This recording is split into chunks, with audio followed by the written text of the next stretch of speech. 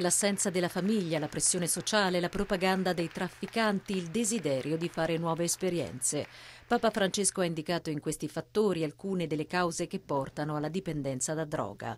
Ricevendo i partecipanti all'incontro promosso dalla Pontificia Accademia delle Scienze su narcotici, problemi e soluzioni di questa piaga mondiale, il pontefice ha precisato che la droga è certamente una nuova forma di schiavitù e che quando si cercano le reti di distribuzione inevitabilmente ci si imbatte nella mafia che uccide quanti vogliono risolvere questa piaga.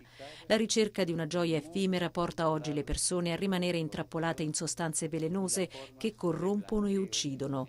Per spezzare la catena del traffico di droga non solo si dovrebbe arginare la corruzione e il riciclaggio di denaro sporco, ma bisognerebbe anche frenare la domanda di consumo, anzitutto attraverso la formazione umana. La formazione umana rivolta agli strati più vulnerabili della società permette infatti agli individui di avere validi strumenti di discernimento.